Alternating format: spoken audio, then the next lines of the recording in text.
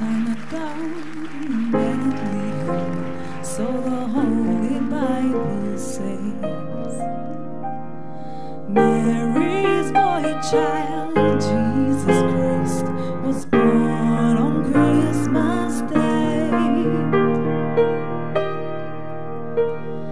Hark now, hear the angels sing, a king was born.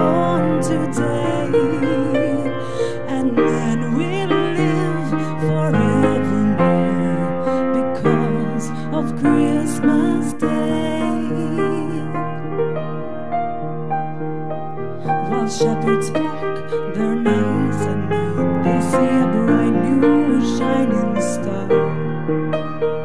They heard the choir sing a song. The music seemed to come from afar.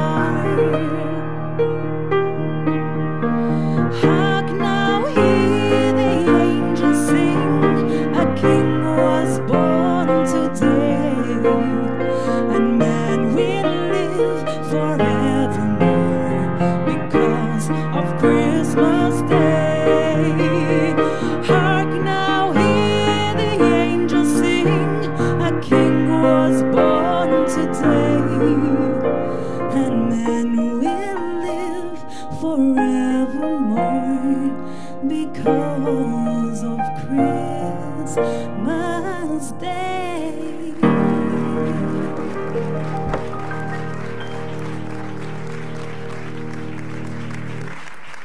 Prosit Gilbert, prosit u koll Adrian, Mary's Boychard, kem sabiħu dik il- Et inħossi l-lum vera diħlin fl-spirtu tal-miliet u dak ħaġa verament sabiħax kem xena u anka